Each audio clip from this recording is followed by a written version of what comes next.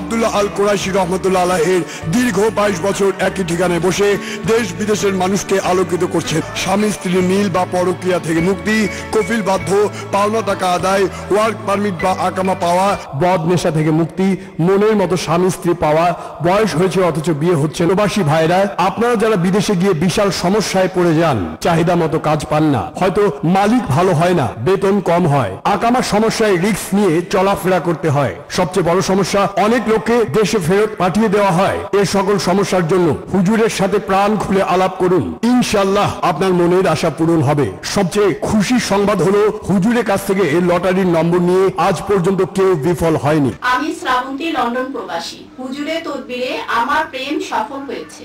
এবং লটারিতে বিজয়ী হয়েছে বিভিন্ন দেশের ক্যাসিনোতে অসংখ্য প্রবাসী লটারি খেলে বিজয়ী হয়ে কোটিপতি হয়েছে। হুজুরের টাকা পয়সার চাহিদা নেই। আপনার সমস্যার সমাধান হলে হুজুরের প্রতিষ্ঠিত এতিমখানায় মাদ্রাসার জন্য যথাসাধ্য সহযোগিতা করবেন। মানব সেবাই হুজুরের মূল লক্ষ্য।